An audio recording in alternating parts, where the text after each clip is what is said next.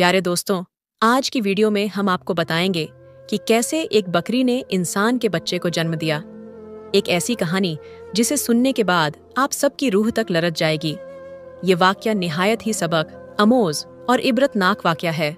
लिहाजा, हमारी आपसे गुजारिश है कि हमारे इस वाक्य को एंड तक ज़रूर देखिएगा, ताकि आपको इस वाक्य से इबरत हासिल हो सके। वीडियो को, लाइक चैनल को, सब्सक्राइब ज़रूर करें। एक दया का कहना था कि आज जो मंजर मेरे सामने था, उसे देखकर मैं हैरान थी। शख्स उस बकरी को अपने गले से लगाए बैठा था और बकरी के आसपास लोगों का हुजूम था। मैं इस गाँव की दाई थी और मैंने इस गाँव की आधी से ज़्यादा औरतों के यहाँ विलादत करवाई थी। सब लोगों का मुझ पर बहुत भरोसा था, लेकिन जब मौलवी हैरानी से मेरे पास आया तो मैं हैरान रह गई। कहने लगा, अम्मा, आज आपकी ज़रूरत पड़ गई है। मैंने कहा, कि तुम्हें मेरी ज़रूरत कैसे पड़ गई? तुम्हारे घर में तो ऐसा मामला हो ही नहीं सकता, क्योंकि तुम्हारी बीवी तो बांझ है। उसने कहा, नहीं नहीं, मुझे आपकी ज़रूरत तो है, लेकिन अपनी बीवी के लिए नहीं, मुझे आपकी ज़रूरत बानो के लिए है। मैंने कहा, बानो, उसके यहाँ विलादत होने वाली है, आप जल्दी से आ जाएँ। मैं चली गई, क्योंकि यह काम इतना मुश्किल तो है नहीं था। एक बकरी के यहाँ विलादत होने वाली थी। मौलवी उस्मान को अपनी बकरी से बहुत ज़्यादा मोहब्बत थी। उसने उसका नाम बानो रखा था वह उस बकरी के पीछे पीछे पागल था। उसका बहुत ज़्यादा ख्याल रखता था, उस पर जान देता था। सर्दियों में उसके कपड़े भी बनाया करता। उसके लिए अलग से कमरा बना रखा था। सारे गाँव को पता था, मौलवी उस्मान की जान उस बकरी में बसती है। और कहता है, जब से बकरी लेकर आया हूँ, तब से मेरे हालात ही बदल गए हैं। बकरी थी भी, बड़ी खूबसूरत। लंबी और सफ़ेद रंग की इतनी ऊँची बकरी, वैसे मैंने अपनी ज़िंदगी में कभी नहीं देखी थी। क्योंकि यह उसका ख्याल ही रखता था। इसलिए वह इतनी बड़ी थी। मैं भी वहाँ पर चली गई और पास जाकर बैठ गई। मुझे पता था कि मेरा ज़्यादा काम नहीं है, लेकिन थोड़ी देर के बाद मेरी आँखों ने ऐसा मंजर देखा कि कदमों तले से ज़मीन ही निकल गई।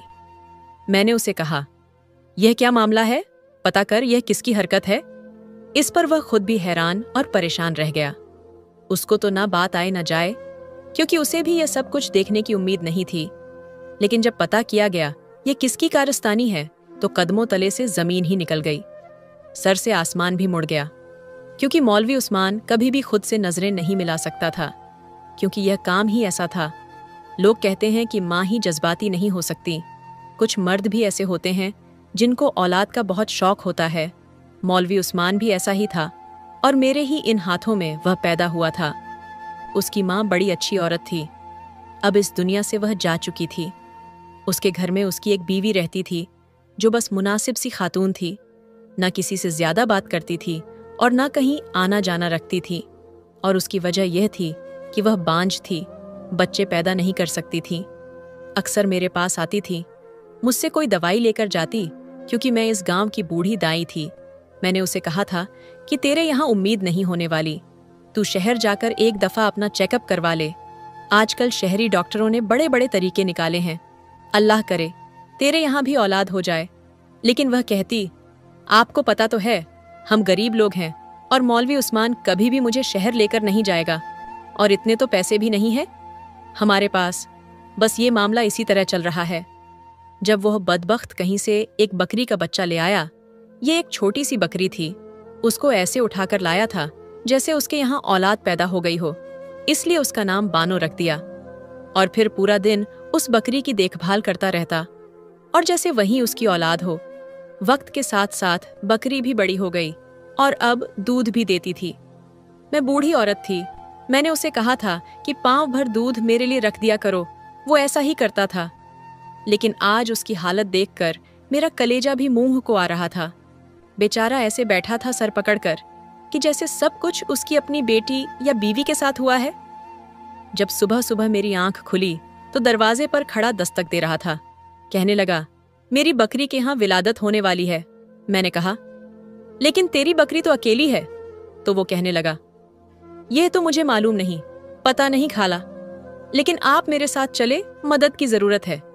पहले जब उसने दरवाज़ा खटखटाया तो मुझे लगा कि कोई और मामला है, लेकिन फिर मैं जानती थी कि उसकी बीवी के यहाँ तो औलाद हो नहीं सकती। वो अपने शौहर को इतना पसंद भी नहीं करती थी। कहती थी माँ बाप ने ज़बरदस्ती शादी करवाई है। वह लड़की अच्छी थी, लेकिन आहिस्ता आहिस्ता उसने आना जाना कम कर दिया, क्योंकि यह गाँव था। यहाँ पर किसी औरत का बांझ होना बहुत बड़ा गुनाह समझा जाता था। मुझे अपने साथ लिए कमरे में दाखिल हुआ। यह कमरा उसने बानों के लिए ही बना रखा था। वह वहाँ पर बैठी कुछ बीमार सी लग रही थी। मैंने कहा, देखो, ये मेरा काम नहीं। लेकिन वह जो जानवर का डॉक्टर है ना, ये गाँव छोड़कर चला गया है। इसीलिए चल, मैं तेरी थोड़ी बहुत मदद कर देती हूँ। मैं वहाँ जाकर बैठ गई और मैंने अपना हुक्का भी अपने पास रख लिया।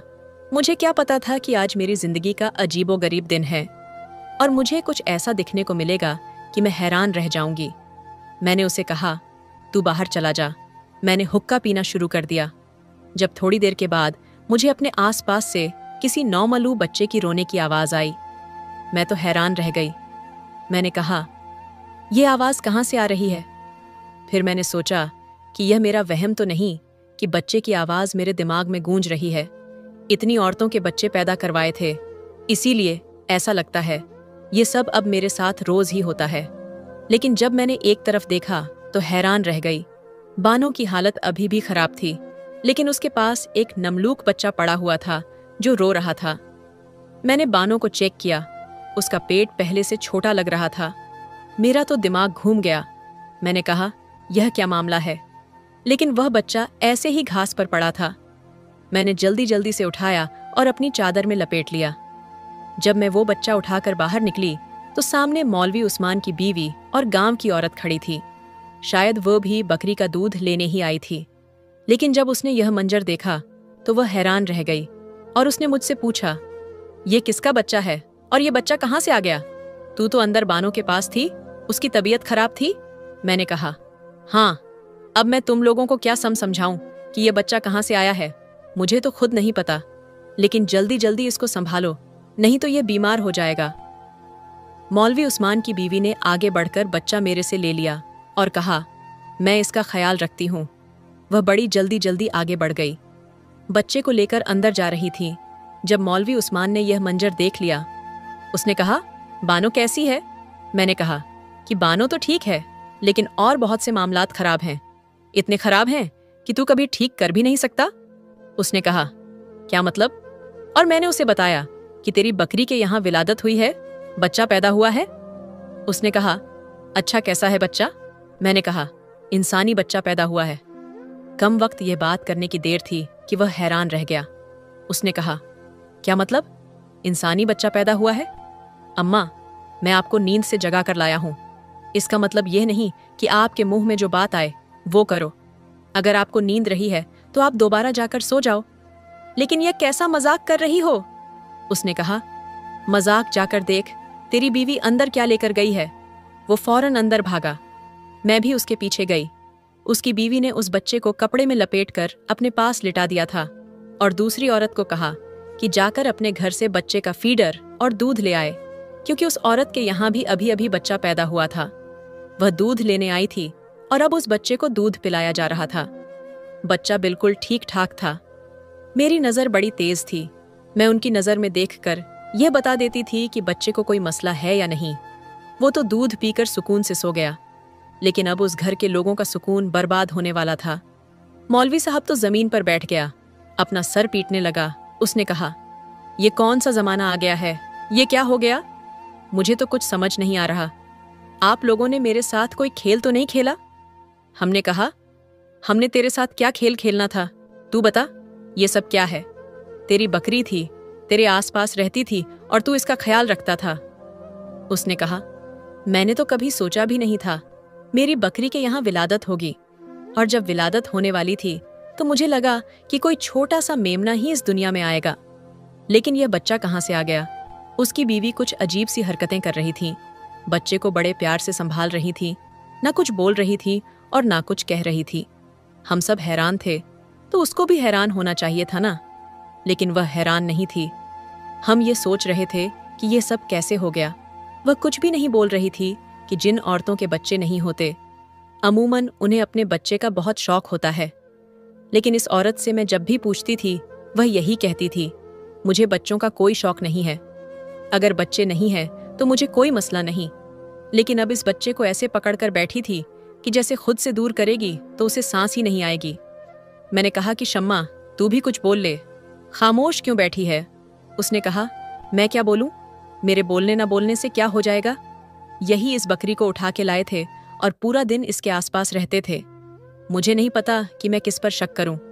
मौलवी उस्मान ने पास पड़ा गिलास उठाकर ज़मीन पर दे मारा। उसने कहा क्या तो तुम मुझ पर शक कर रही हो? उसने कहा, नहीं, मैं आप पर शक नहीं कर रही। लेकिन आप ही बता दें कि यह सब कैसे हो गया। ये सब कुदरत के खिलाफ है।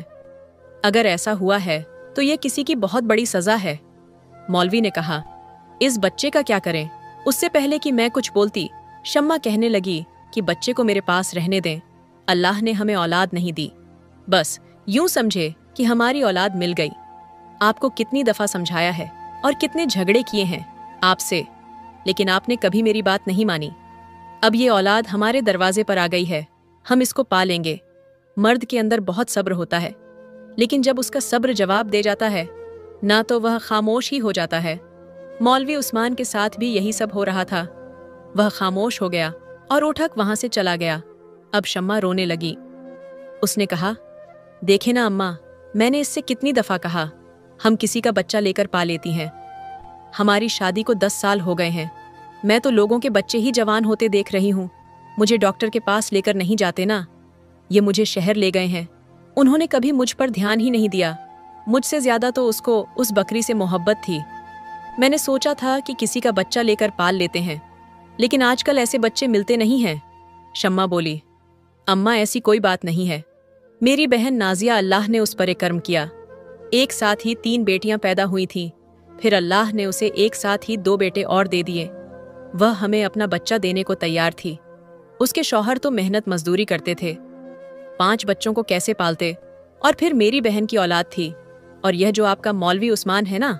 इसने कहा कि इसका बाप कम जात है। और हमने ऐसा बच्चा नहीं लेना, जिसके अंदर घटिया जात का खून हो। देखिए ना इसने कितने बड़े बड़े बोल बोले हैं। शायद जिसके लिए अल्लाह ने इसको यह सब कुछ दिखाया। इसने कभी मुझे संजीदा नहीं लिया और ना ही मेरा इलाज करवाया, न मेरे लिए दुआ की, न मुझे कहीं दम करवाने ले गया। मैंने कहा, किसी से औलाद ले लेते हैं तो इसने मुझे हज़ार बातें सुनाई। मैंने कहा, फिर शहर जाके किसी यतीम खाने से बच्चा ले लेते हैं। तब भी इसने मुझे बुरा भला कहा। बस, इस बकरी को लेकर बैठ गया।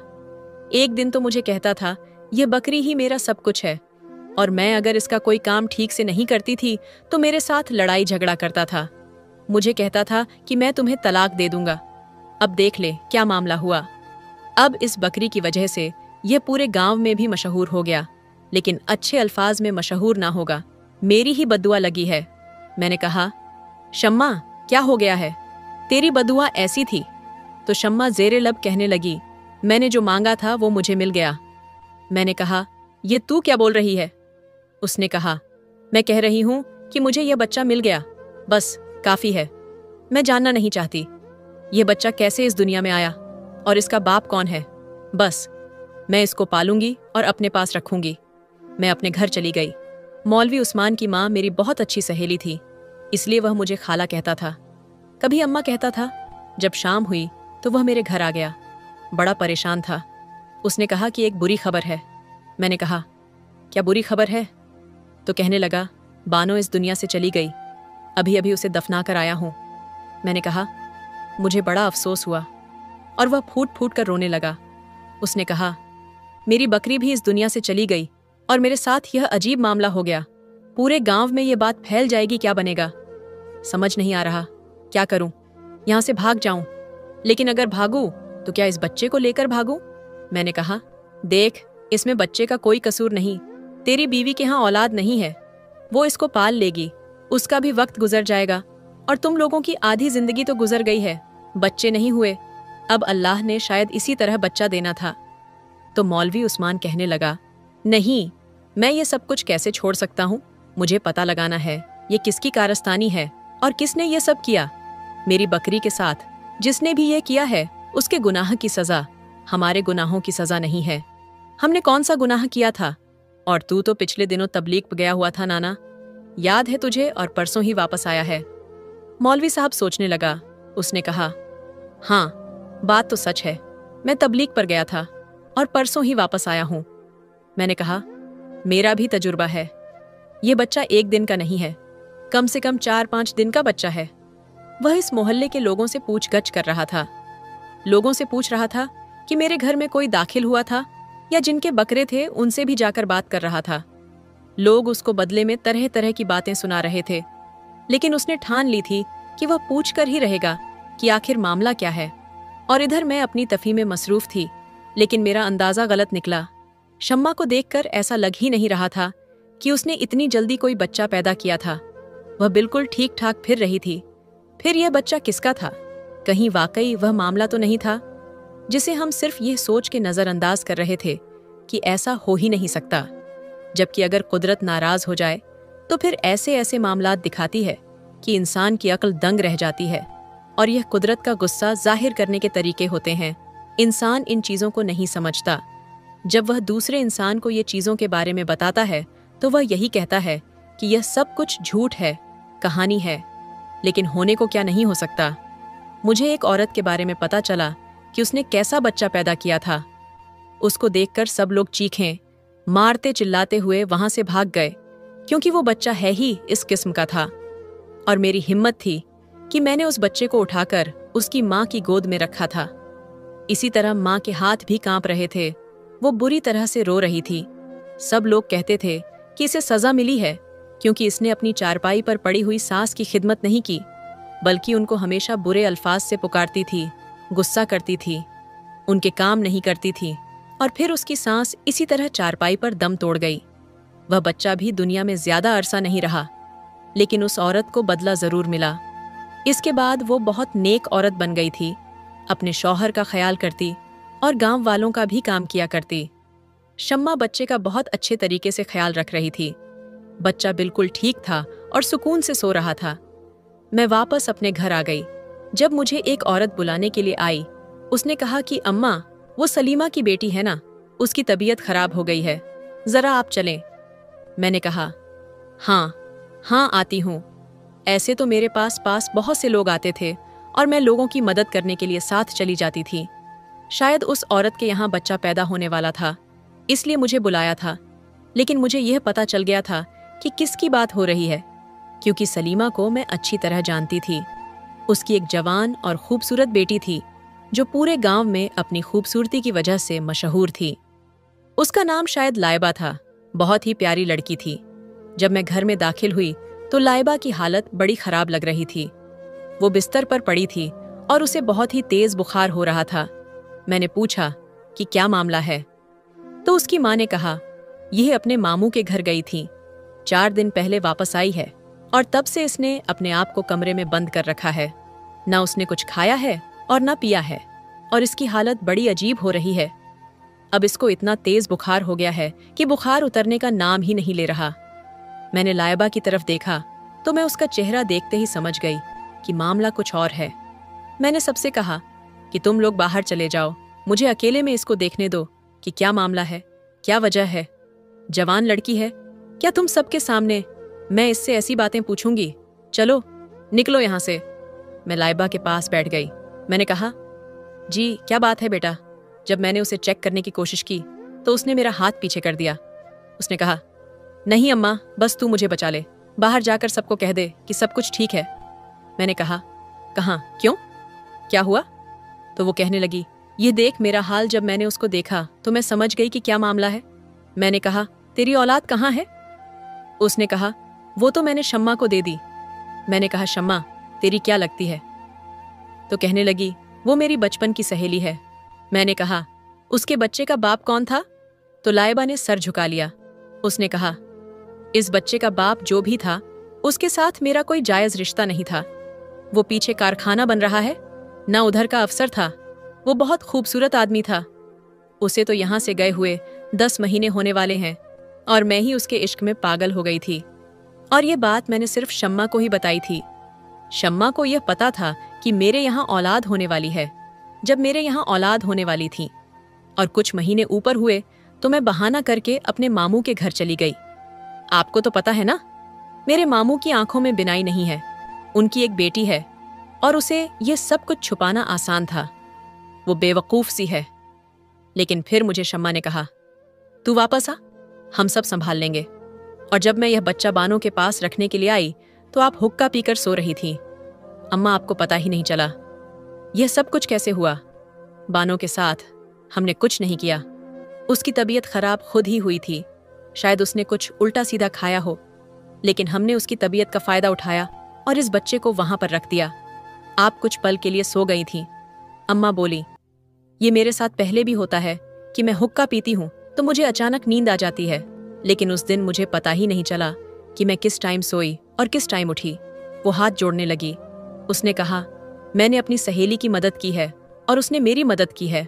बस, आप बाहर जाकर कह दो, मुझे बुखार है और कोई दवाई वगैरह दे दो, क्योंकि मेरे साथ जो बुरा होना था, वो तो हो ही चुका। मैं तो इस बच्चे को नहीं पाल सकती, पर शम्मा तो इसको अच्छे तरीके से पाल सकती है। ये बात सुनकर मैं हैरान रह गई। क्या कहती पता नहीं चला कि यह उनकी बेवकूफ़ी थी या उनकी दोस्ती की आला मिसाल थी। एक दूसरे के बुरे वक्त में उन्होंने एक दूसरे का इतना साथ दिया। तभी तो शम्मा कह रही थी, क्यों रोएगा बच्चा? अपनी खाला की गोद में जो है, यह जुमला पूरा करना था। उसने, क्योंकि उसके लिए लाइबा उसकी बहन से बढ़कर थी, मैंने कहा। अब जो होना था, सो हो गया।